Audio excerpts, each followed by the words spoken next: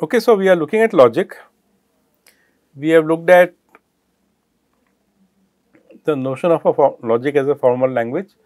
We have looked at the notion of semantics of logical connectives and then we have looked at the semantics of compound sentences and we made a passing reference to the fact that the number of uh, compound sentences is infinite because you can always take any two input sentences, take any connective and produce a new sentence. So, that is a endless process. And then we had this notion of a entailment which says that you give us some statements which are true and then we want to decide which other statements are true or not and that is the process of entailment. And we saw in the last example that with the implication statement alpha implies beta, if you give us alpha also then beta is entailed, but if you give us alpha implies beta and if you give us beta then alpha is not entailed. So, let us look at this process and let us look at the mechanism for doing this using the rules of inference and proofs. So, we are interested in patterns of arguments. We saw these two arguments which are given below. These are entailments. It says that alpha implies beta and alpha entails beta and alpha implies beta and beta does not entail alpha. Hmm. So, how do we capture this in the form of patterns of arguments? Just like syllogism was a pattern, it said that if all x's are y's and a is an x, then a must be y. Okay. So, x could be man or city or politician, whatever, it does not matter. There was a pattern, the syllogism was a pattern. So, we want to find patterns now in this more modern language that we are working with essentially. So, this is what we have seen that you give us alpha implies beta and you give us alpha and we can infer beta that is a pattern that we will use. Now, note that alpha and beta are kind of variables in some sense, in the sense that you can plug in any sentence for that essentially. It can be a compound sentence, it can be a primitive sentence, it does not matter. And the pattern that we extract from this entailment that we have seen is this. So, from alpha implies beta and alpha. We so this is a given for us okay. So, this is given.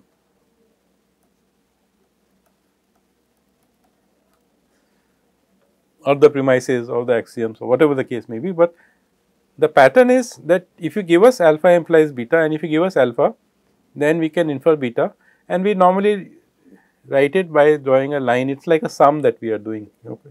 So, in the way you we learned addition and multiplication, it is very similar in nature that there is a pattern that we can do that if, if there is anything which is alpha implies beta matches and alpha matches something then we can add beta to the set essentially.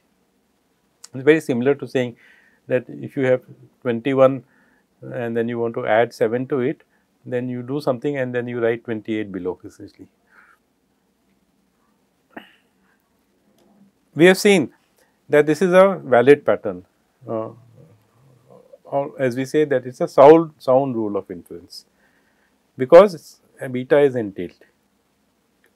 At the same time, if you give us alpha implies beta and you give us beta and we infer alpha, that is also a pattern, but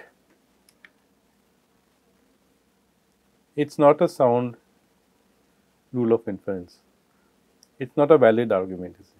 So, you can see that the pattern is, is on the surface look similar. You are given two sentences or two well formed formulas and then you are inferring a third one essentially. So, in one case when from alpha implies beta and alpha you infer beta, it is valid and we saw that because of the process of cutting down on the truth table that we saw in the last slide, last uh, video. And the second one is not sound because uh, you can use it as a pattern, but do not uh, expect that alpha will always be true. So, when we use valid rules of inference uh, or sound rules of inference, we say that we are doing deduction essentially. We can deduce something. And most students who study logic in some part of their education begin with this rule called modus ponens. We will use the short form MP for that.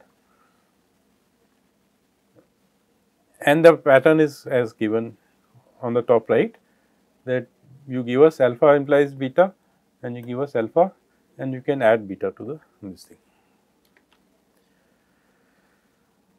And we have said that it is a sound rule of inference. We will talk about how do you determine whether the rule of inference is sound. We saw, we made the our observation based on the entailment process that we said that if alpha implies beta is true and if alpha is true, uh, then beta is true, always necessarily true and we arrived at the conclusion because it is always the case that beta is true that it is entailed essentially.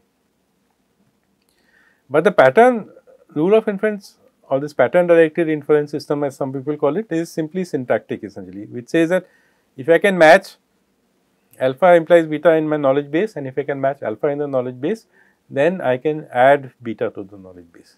It does not refer to truth values at all essentially and that is why it is something which can be automated without you know having to worry about this thing. So, the question you might ask is if you can establish a valid conclusion or entailment by constructing a truth table, why should we bother with derivation and proof at all essentially? The answer to that is has there are many reasons. One is because the number of rows in the truth table will grow exponentially with the number of variables. If so this in this case there are two variables, so we will have four rows.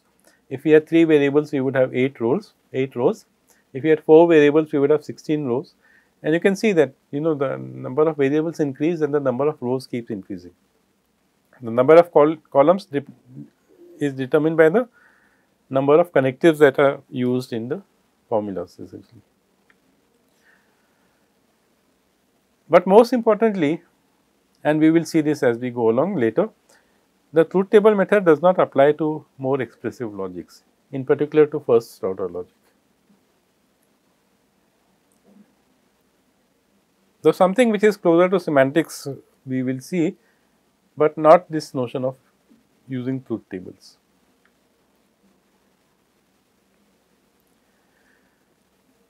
So, deduction is sound because it is based on a valid entailment or based on entailment uh, and the pattern is that if you is such that we saw that given alpha implies beta and, and alpha beta was necessarily true Abduction is the other rule that we saw, which says that it is called abduction. Uh, that if you are given alpha implies beta and if you are given beta, then you can infer alpha. But we saw that this rule of inference is not sound because we saw after you know reasoning with the truth table or after you know playing around with the truth table, we saw that alpha was not necessarily true essentially. That means that if you use this particular rule, then the conclusion is not necessarily true. You may give us alpha implies beta and you may give me beta and if I infer alpha, then it does not mean that I have inferred something which is true essentially. So, here is this argument which is found in literature quite often uh, is that let us say alpha stands for you water the garden, beta stands for the fact that the lawn is wet so, it, it's obviously true that if you water the garden then the lawn will become wet. So, that is true. Supposing somebody tells you that the lawn is wet which means beta essentially and if you make an inference that you watered the garden then clearly this is not a valid inference because it's it could have simply been the fact that it was raining essentially it was raining and the lawn becomes wet.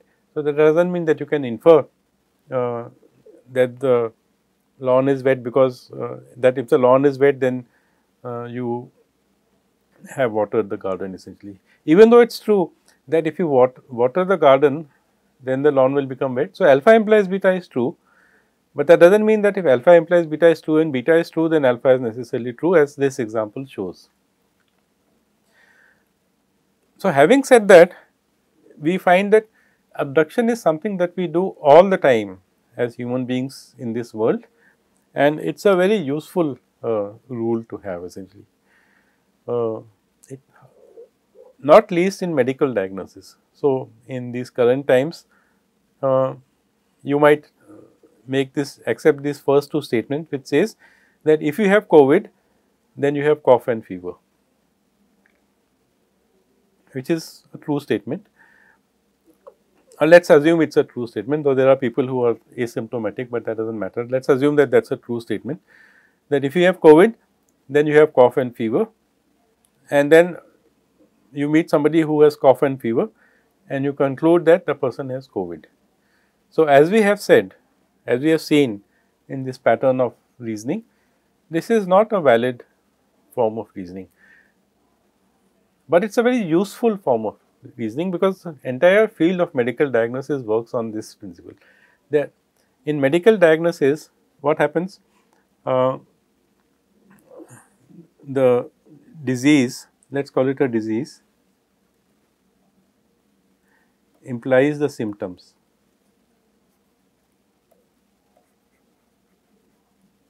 So, there is a causal connection which makes this implication true that if you have this particular disease then you will get those symptoms essentially. If you have some disease uh, let us say XYZ then you will get fever.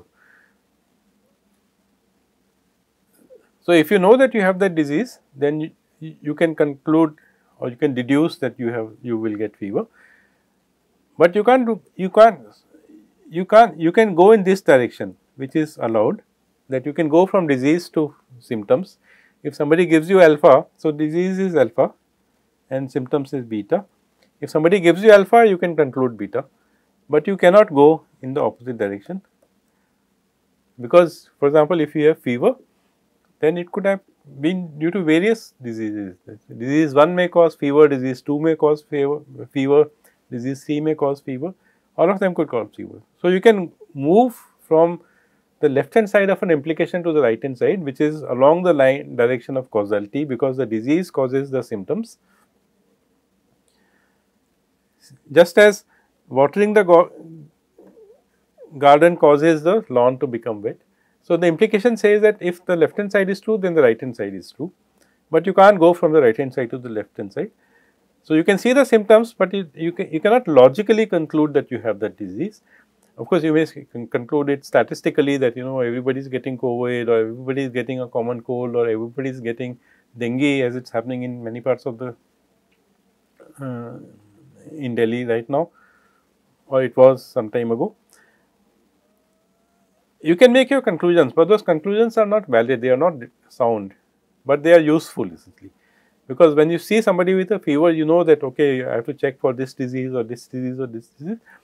So, that is what happens. You see the symptoms, then typically a doctor might advise you some kind of a confirmatory test. Will say go and do this test and find out whether you have that particular disease or not. So, abduction is very useful. In real life, we use it all the time. We see, we see something and we infer what might have caused it essentially, but it is not sound essentially. And we are going to focus more on, on deduction, which is sound forms of reasoning or valid forms of reasoning. So, let us quickly talk about how do you talk about valid rules of inference? How do you know that a rule of inference is valid? One simple way is to go back to truth tables.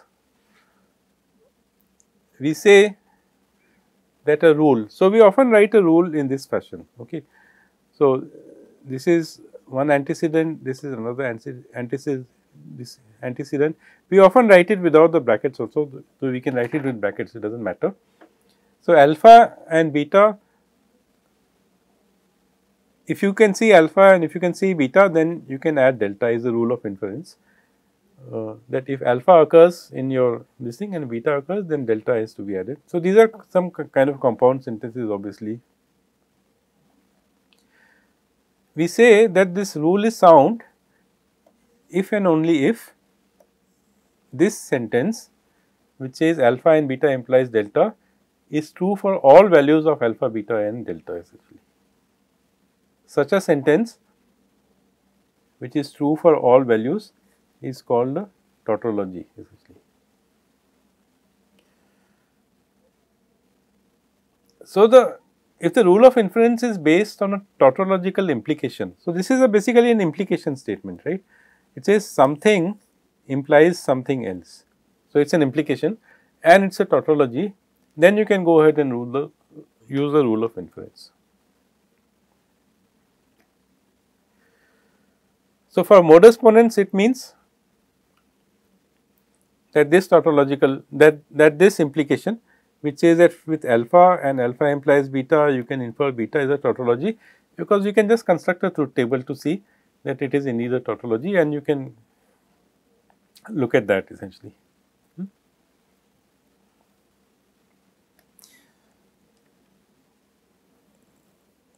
As an exercise I will ask you to construct the truth table for abduction. So, for abduction what will be the formula that you want to check for that beta and alpha implies beta the whole thing implies alpha. Take this formula, construct the truth table and you will see that it is not a tautology. Why? Because in one at least one of the rows you will see that the formula evaluates to false essentially.